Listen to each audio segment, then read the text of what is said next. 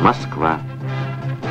Скоро столица нашей Родины станет столицей 22-х летних Олимпийских игр.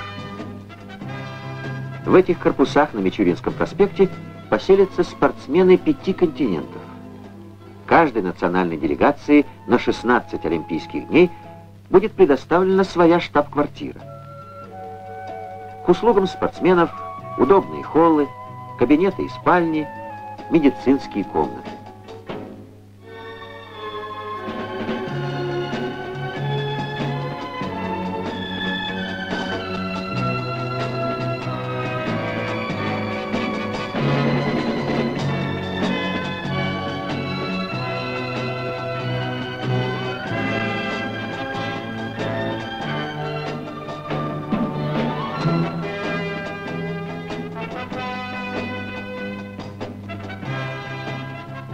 Это комнаты для рабочих встреч тренера с командой.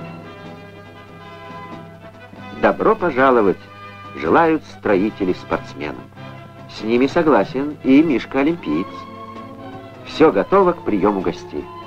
А когда погаснет олимпийский огонь, москвичи получат новый благоустроенный микрорайон на 14 тысяч жителей.